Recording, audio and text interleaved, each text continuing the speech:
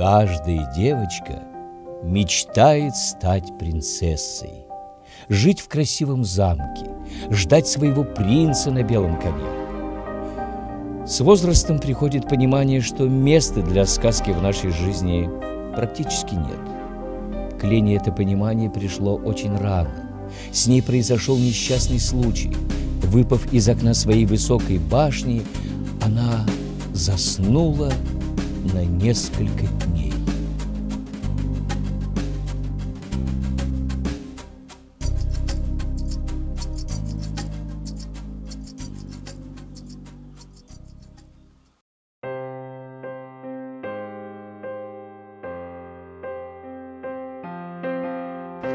Бывают такие ситуации, сначала в больнице, вроде сначала было все хорошо, потом нам звонят и говорят, что ребенок впал в кому.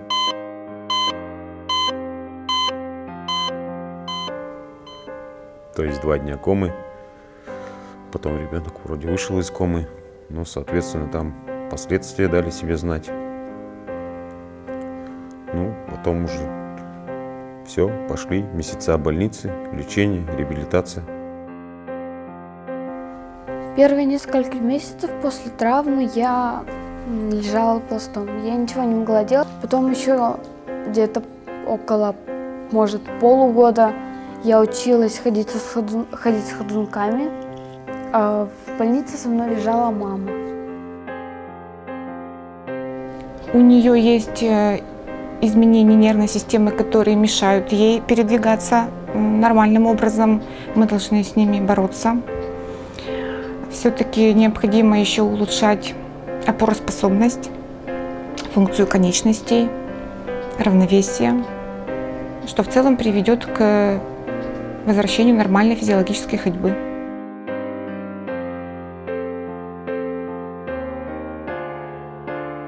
Реабилитацию в этом центре я прохожу уже в пятый раз.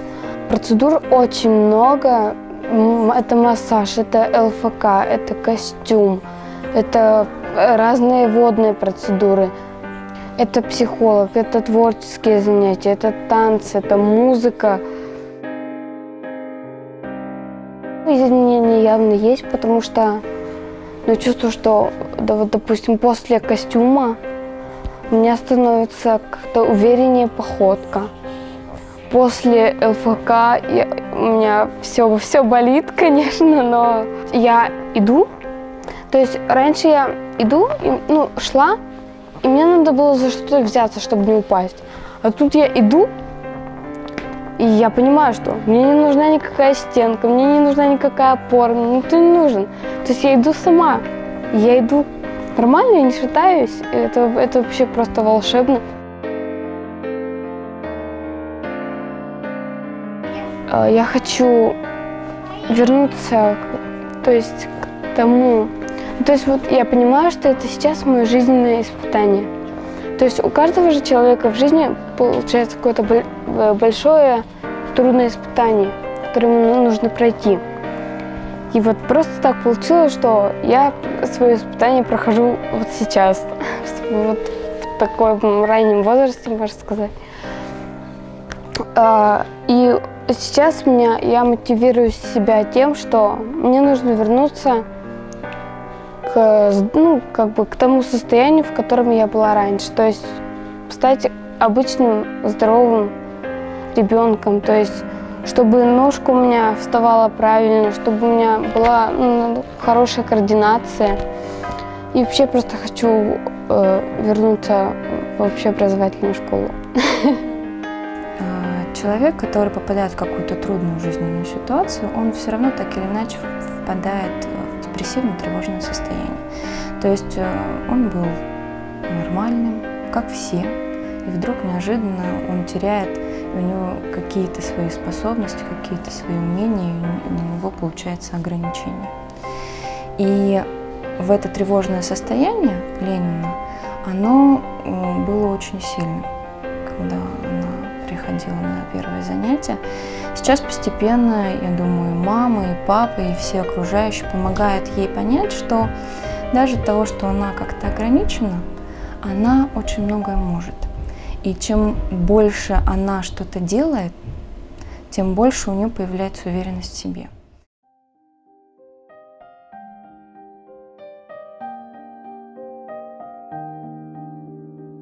А есть ли желание изменить себя и свою окружающую жизнь? Лена сразу поняла, что унывать нельзя, ни в коем случае. Сначала она стала заниматься музыкой, потом научилась рисовать и даже встала на горные лыжи.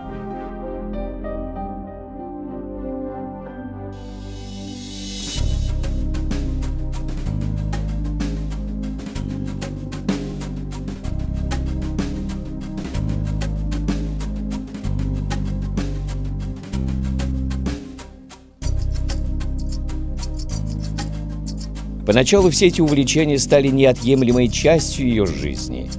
Но Лена и представить не могла, что судьба сведет ее с танцами –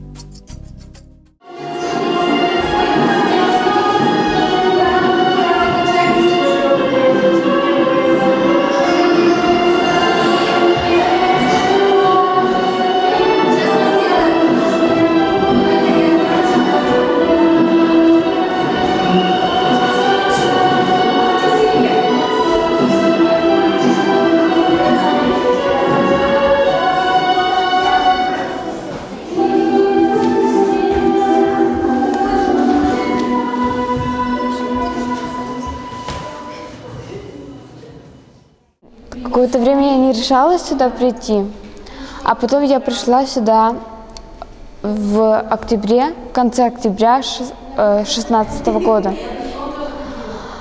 И вот после первого занятия я пришла домой, я сижу и реву, говорю, мама, это просто чудо. С первого же дня мы влюбились в эту атмосферу, в этого руководителя. И, в общем-то, с первых же дней стали ходить на занятия. У нее появилось желание дальше продолжать. Ну, то есть она раньше она была такая, ну, поникшая, а сейчас у нее желание есть, ну, вперед идти она рвется, стремится к лучшей жизни, в общем. Вот танцы ей это дали.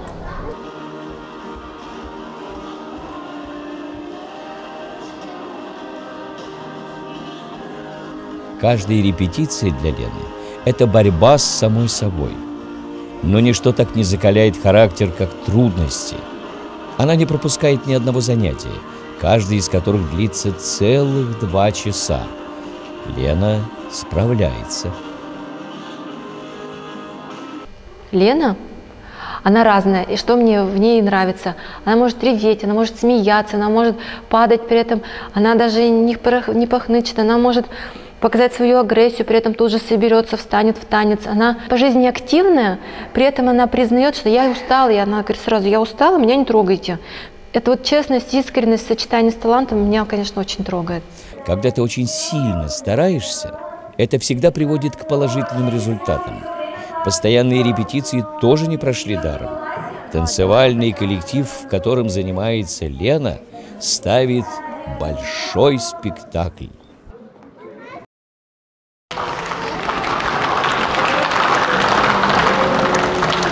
Будет впервые на спектакль основана на реальной событии Елены Чулкиной, на ее жизненной истории. Жила-была тучка. Это я. Я была как все. Обычная, белая и пушистая. И очень любила летать в облаках. Но три года назад подул сильный ветер, и я упала. Да так, что три дня пролежала в снежном коме. Но я смогла оттуда выбраться.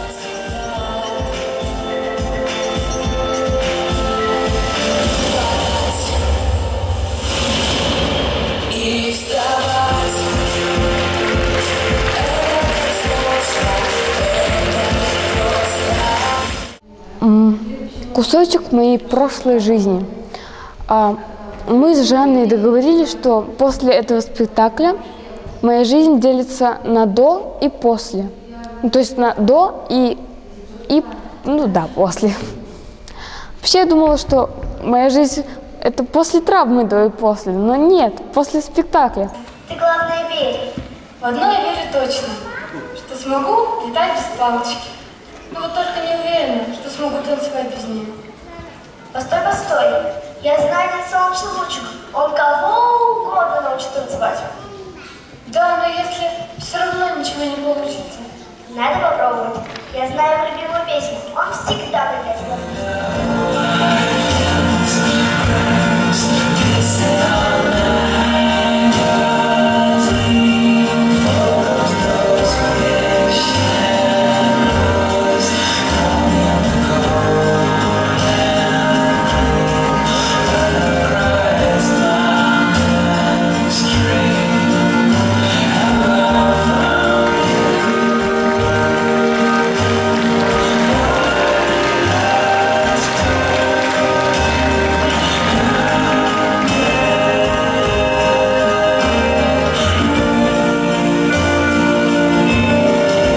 Вообще я играю сама себя. То есть э, это все сделано, основано на реальных событиях, просто в более понятной для детей форме, в форме сказки.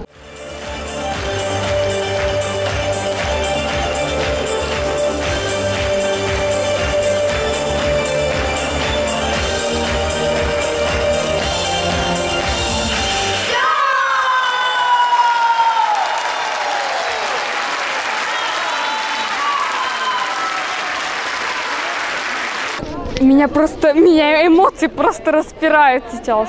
Я, я хочу и плакать, и танцевать, и смеяться. И вообще весь мир хочу обнять сейчас просто. Сказкотерапия работает. После этого спектакля у меня началась новая жизнь. В будущем Лена планирует учиться в высшем учебном заведении, а потом открыть свою студию для особенных детишек. Несмотря на все жизненные трудности, они готовы узнавать что-то новое, открывать для себя разные увлечения, быть открытыми для новых знакомств. Совсем не важно, какой ты, особенный или здоровый, ребенок или взрослый. Главное всегда верить в свои силы и двигаться только вперед.